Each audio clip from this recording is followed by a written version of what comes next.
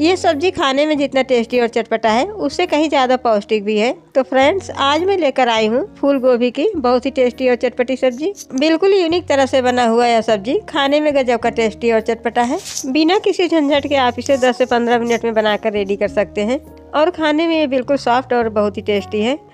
अगर आप एक बार इस तरह से सब्ज़ी बनाकर खा लिए तो फिर बार बार इसी तरह से बनाकर खाएँगे। तो चलिए बनाना शुरू करते हैं। ये अमेजिंग सी रेसिपी फ्रेंड्स आपसे बस एक छोटी सी रिक्वेस्ट है। अगर अभी तक आपने हमारा चैनल सब्सक्राइब नहीं किया है तो प्लीज़ प्लीज़ इसे सब्सक्राइब अवश्य कर लें।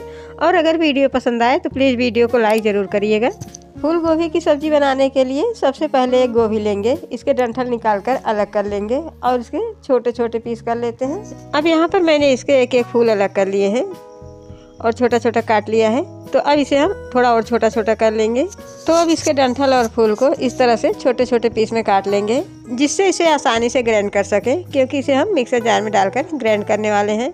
तो इसी तरह से सारे गोभी को इस तरह से छोटे छोटे पीस में काट लेते हैं। इस तरह से काट लेने से इसे आपको ग्रेट करने की भी ज़रूरत नहीं पड़ेगी। अब यहाँ पर सारे गोभी को मैंने इस तरह से छोटे छोटे पीस में काट लिया है और इसे काटने के बाद दो तीन बार अच्छे से धोकर साफ़ कर लिया है। तो अब हम लेंगे एक मिक्सर जार और इसमें हम सारे गोभी डाल देते हैं। सारा गोभी मैंने इसमें डाल दिया है तो अब इसे बंद करेंगे और बिना पानी डाले ही इसे ग्राइंड कर लेंगे। गोभी में इतना पानी रहता है कि आसानी से ग्राइंड हो जाएगा। अब यहाँ पर सारे गोभी को मैंने बिल्कुल दरदरा पीस लिया है। ये देखिए, ये इस तरह का है। तो अब इसे हम एक मिक्सिंग बाउल में निकाल लेते हैं। मैंने सारा गोभी निकाल लिया है तो अब इसे इसी तरह से रख देते हैं और एक छोटा सा काम और कर लेते हैं और मिक्सर जार में कुछ चीज़ें और पीस लेते हैं। अब यहाँ पर मैंने दो मीडियम साइज़ के प्याज को मोटे मोटे पीस में काट लिया है। इसे मिक्सर जार में डाल देते हैं और इसी के साथ मैंने सात आठ कलियाँ लहसुन का लिया है। इसे डालेंगे। दो हरे मिर्च को काट लिया है। इसे डाल देते हैं। मिर्च आप कम ज़्यादा कर लें। और एक इंच अदरक का टुकड़ा लिया है, इसे डाल देते हैं। अब यहाँ पर मैंने दो बड़े साइज़ के टमाटर को मोटे मोटे पीस में काट लिया है, इसे भी डाल देते हैं। अब इसे बंद करेंगे और इसे पीस कर इसका पेस्ट बना लेते हैं। अब हमारा मसाला भी पीस कर रेडी हो गया है तो अब इसे इसी तरह से रख देते हैं। अब लेंगे ग्रेट किए हुए गोभी, और इसमें वन फोर चम्मच से भी कम हल्दी पाउडर डालेंगे। वन फोर चम्मच लाल मिर्च पाउडर डालेंगे, मिर्च आप कम ज़्यादा कर लें। एक चौथाई चम्मच से भी कम गरम मसाला डालेंगे। अब इसे टेस्टी और चटपटा करने के लिए वन फोर चम्मच अमचूर पाउडर डालेंगे, और इसी में वन फोर चम्मच धनिया पाउडर डाल देते हैं। अब इसमें जाएगा टेस्ट अकॉर्डिंग नमक बहुत थोड़ा सा ही नमक डालेंगे। नमक आप अपने टेस्ट अकॉर्डिंग कम ज़्यादा कर लें। अब इसे थोड़ा सा मिक्स कर लेते हैं। इसी में मैंने एक चम्मच पिसा हुआ मसाला डाल दिया था, जो मैंने लहसुन, प्याज, अदरक, टमाटर पीस कर रखा था। जो रिकॉर्डिंग में नहीं आ पाया है, आप इसमें ज़रूर डाल दीजिएगा।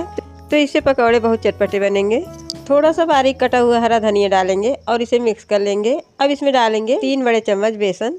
इससे इसकी बेंडिंग अच्छे से हो जाएगी। इसमें बस उतना ही बेसन डालना है, जिससे इसकी बेंडिंग अच्छे से हो जाए। अब इसे अच्छे से मिक्स कर लेते हैं। इसमें हमें पानी नहीं डालना है। बिना पानी के ही अच्छे से मिक्स हो जाएगा। अभी बेसन थोड़ा कम लग रहा है तो इसमें हम एक टेबल स्पून बेसन और डाल देते हैं और इसी के साथ इसे भी मिक्स कर लेते हैं। यानी इसमें मैंने टोटल चार टेबल स्पून बेसन यूज़ किया है।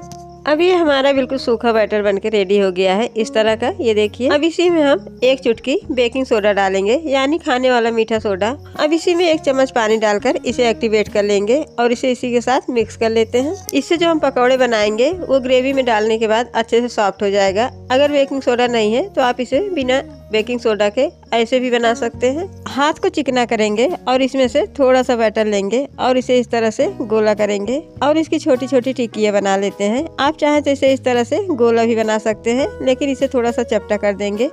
तो ये अंदर तक अच्छे से सीख जाएगा और ग्रेवी में डालने के बाद बिल्कुल सॉफ्ट हो जाएगा।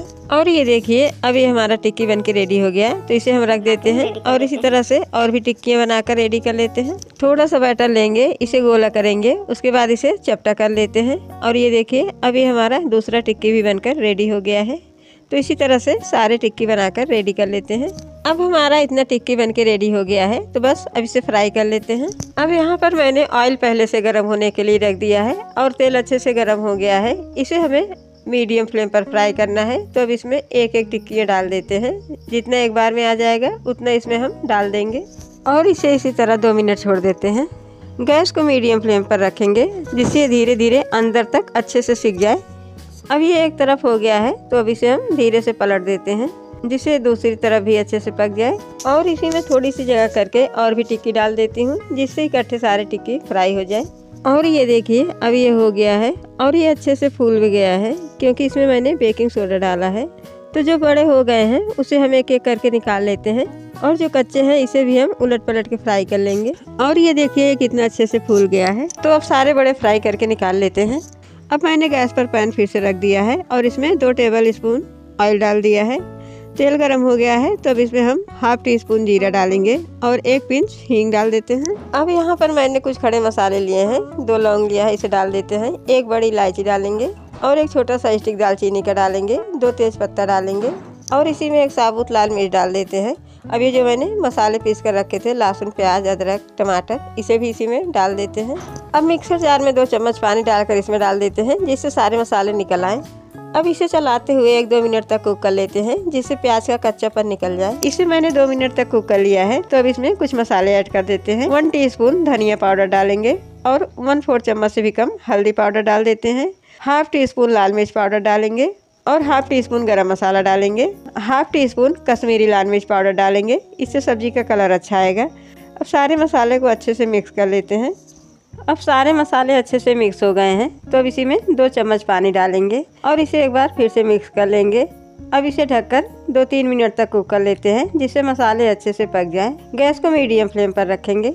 अब यहाँ पर इसे मैंने ढककर दो से तीन मिनट तक कुक कर लिया है। तो अब इसे खोल कर चेक कर लेते हैं। और ये देखिए, अब मसाला अच्छे से पक गया है और ये अच्छे से तेल भी छोड़ दिया है और मसाले की खुशबू भी बहुत अच्छी आ रही है। तो अब इसी स्टेज पर इसमें हम डालेंगे पानी। तो इसमें हम डेढ़ से दो गिलास पानी डाल देते हैं। पानी आप कम ज़्यादा कर लें, जितना पतला या गाढ़ा ग्रेवी बनाना चाहें, उसी अनुसार पानी डालें। अब इसे अच्छे से मिक्स कर लेते हैं। ये अच्छे से मिक्स हो गया है तो अब इसमें कुछ चीज़ें और ऐड कर लेते हैं। यहाँ पर मैंने एक टेबल स्पून कसूरी मेथी लिया है। इसे हाथ में लेंगे और थोड़ा सा क्रश करके इसमें डालेंगे। इससे इसका टेस्ट और खुशबू दोनों ही बहुत अच्छा आएगा। अब जाएगा इसमें टेस्ट अकॉर्डिंग नमक। तो हाफ़ टी स्पून इसमें हम नमक डाल देते हैं। नमक आप अपने टेस्ट अकॉर्डिंग कम ज़्यादा कर लें। अब इसे मिक्स कर लेते हैं और इसमें अच्छे से उबाल आने देते हैं। तो अब इसे इसी तरह से ढककर चार से पाँच मिनट तक कुक कर लेते हैं, जिससे ग्रेवी अच्छे से पक जाए। और तब तक हम चेक कर लेते हैं अपना बड़ा जो मैंने बना कर रखा था। और ये देखिए, ये कितना सॉफ्ट बना है। ये अभी से इतना सॉफ्ट है तो ग्रेवी में डालने के बाद ये और अच्छे से सॉफ्ट हो जाएगा। अब ग्रेवी में भी अच्छे से उबाल आने लगा है। इसे मैंने तीन से चार मिनट तक कुक कर लिया है। अब ग्रेवी अच्छे से पक गया है। तो अब इसमें हम डाल देते हैं बड़ा जो मैंने बना कर रखा था। एक एक करके सारे बड़े इसमें डाल देते हैं। अब यहाँ पर सारे बड़े मैंने इसमें डाल दिए हैं। तो अब इसे अच्छे से चला देते हैं। और इसे इसी तरह से ढककर दो मिनट और कुक कर लेते हैं, जिससे बड़ा थोड़ा सा सॉफ्ट हो जाए। इसे बहुत ज़्यादा देर तक कुक मत करिएगा। तो बस एक से दो मिनट तक ही कुक करना है। अब इसे मैंने दो मिनट और कुक कर लिया है तो अब इसे चेक कर लेते हैं। तो अब इसे चला देंगे। और ये देखिए, अब बड़े अच्छे से सॉफ्ट हो गए हैं। तो अब इसमें जाएगा आधा बाउल बारीक कटा हुआ हरा धनिया और इसे थोड़ा सा मिक्स कर देते हैं। अब सब्ज़ी हमारा बनके बिल्कुल रेडी हो गया है और बड़े अच्छे से सॉफ्ट भी हो गए हैं। तो अब हम गैस बंद कर देंगे और इसे हम निकाल लेते हैं। अब गोभी की गर्मा गर्म कोफ्ता करी, सर्व के लिए रेडी है। ये बहुत ही टेस्टी और चटपटा बना है।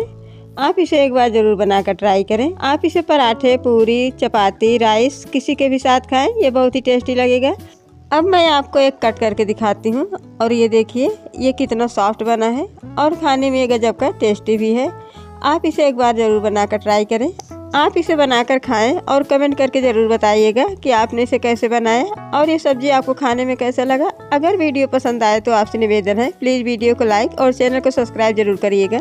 वीडियो को इंड तक देखने के लिए थैंक यू।